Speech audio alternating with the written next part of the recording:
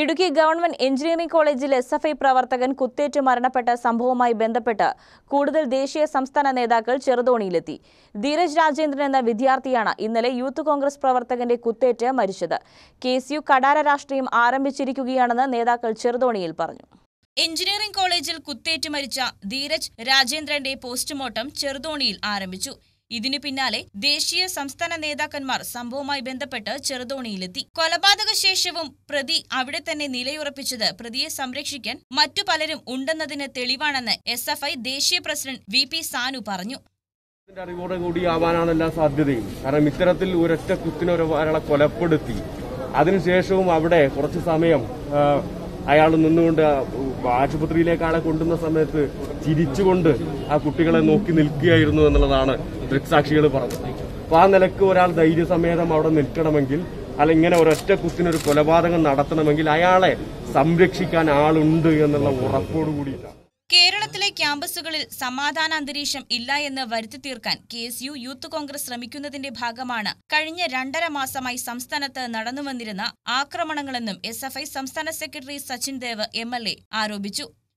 അങ്ങോളം ഇങ്ങോളം ഈ കഴിഞ്ഞ രണ്ട് രണ്ടര മാസത്തിനിടയിൽ കെ എസ് യുവിന്റെയും യൂത്ത് കോൺഗ്രസിന്റെയും നേതൃത്വത്തിലുള്ള വലിയ അക്രമം പല ക്യാമ്പസുകളിലും നടക്കുക കേരളത്തിലെ ക്യാമ്പസുകളിൽ ആകെ അക്രമമാണ്.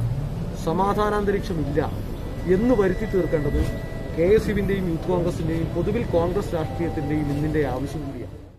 പ്രതിയെ ന്യായീകരിച്ചുകൊണ്ട് എസ് എഫ് ഐ ഡിവൈഎഫ്ഐ പ്രവർത്തകരെ ബോധപൂർവം പ്രചരിപ്പിക്കാനുള്ള നീക്കമാണ് കെ സുധാകരൻ പക്ഷത്തുനിന്നും ഇപ്പോൾ ഉണ്ടാകുന്നതെന്നും ഡിവൈഎഫ്ഐ അഖിലേന്ത്യാ പ്രസിഡന്റ് എ റഹീം പറഞ്ഞു.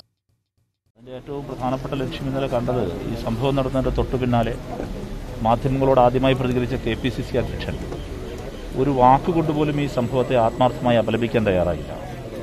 അക്രമത്തെ തള്ളിപ്പറയാൻ തയ്യാറാകുന്നതിന് പകരം അദ്ദേഹം ചെയ്തത് ഒരു കൽപ്പിത കഥ അദ്ദേഹം പ്രചരിപ്പിക്കുകയായിരുന്നു.